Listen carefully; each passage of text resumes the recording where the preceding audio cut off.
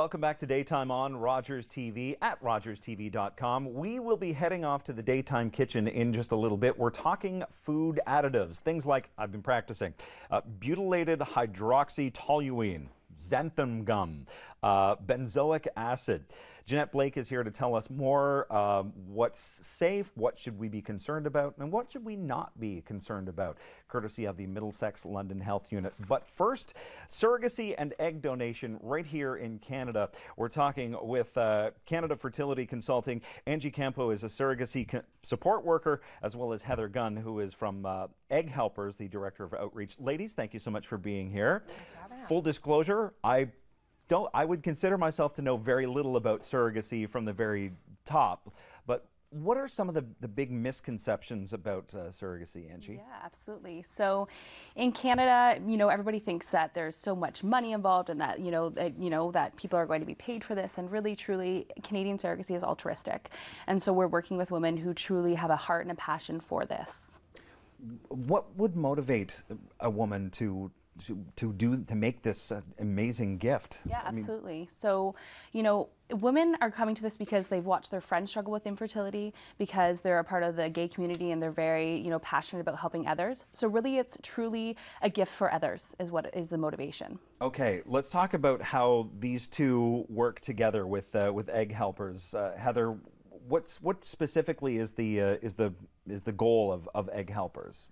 It's really just another way to help out. Um, so people who are struggling with infertility can be coming to it from a variety of different factors. So whether it's a gay couple who is looking to conceive a child, obviously they lack some of that necessary equipment, and an egg being one of them. So egg donation is a safe, it's a confidential and rewarding way for young women to be able to help somebody who is struggling with infertility. So it could be a heterosexual couple who's struggling with the quality of eggs. Maybe a woman's undergone cancer treatments, and that's affected the quality of her eggs as well.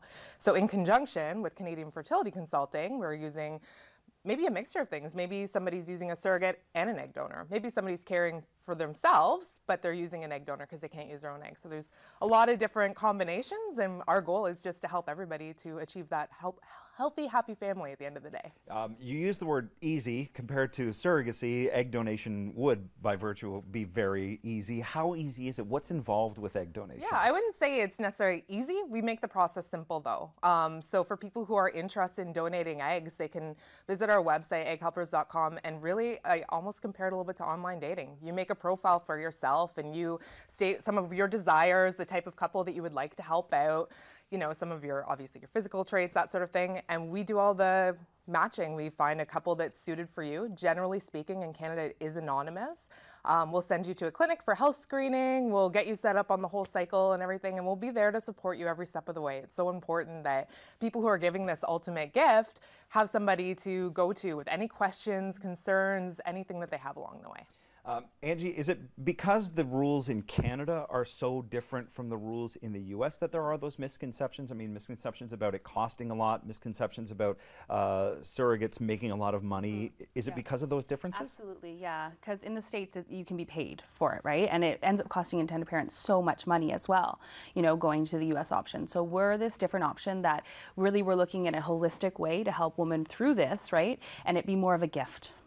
So is is most of the support you offer for the women going through surrogacy, or is it for the couples, or do you just kind of work all, all together? Yeah, all across the board. So we actually run three programs that are all based under the name Sacred. So Sacred Intended Parents, Sacred Donation, and Sacred Surrogacy. And we offer a holistic approach where they can, you know, access this service throughout, where they can have support in order to help them emotionally through the process. Okay, so what are some of the big challenges that uh, that surrogates and, and the couples face? Yeah. So, you know, when I jumped into my first surrogacy, I was like, you know, I can get pregnant no problem. I'll get pregnant right away and was, you know, ready for that. And so, really, truly, I didn't realize I was taking on somebody else's fertility issues as well. So, it took me a couple tries to get pregnant, right? So, you know, not always is it the, you know, good fix where you're going to get pregnant right away. And as somebody who has no fertility issues, that was challenging for me at first, right? To understand that because it took us five tries start to finish. Wow. And that must be very emotionally draining. It was because I was emotional for them, right? For me, mm. I was okay, you know, um, but for them, I just wanted to change their story. They had 16 years of infertility, and I wanted to be that change, and I thought it would happen sooner. So, you know. So what kind of support then do you provide for- in Yeah. that in that respect, the emotional respect? Yeah. So I'm there every step of the way. We have a team of over eight women that are all working within our, our organization um, who help you emotionally and physically. And we also offer counseling throughout as well. So if a surrogate's having an issue or intended parent or a donor, we can offer that support as well. Um, well, I want you guys. To, I have a ton of questions. All, all that we've talked about already has sparked a hundred questions that we'll want to get to. But if you want more information, you can visit fertilityconsultants.ca. You can visit egghelpers.com for more information on egg donation. Or what you can do is just stick around as we continue our conversation. Canadian Fertility Consulting. We're back with more daytime right after this. Today's ARF Ontario pets of the day are three month old Joan and 18 month old Gracie. Both of these animals and many more are looking for forever homes. You can do that. You can also get more information on becoming a foster family, donating to, or volunteering for ARF Ontario by visiting arfontario.com.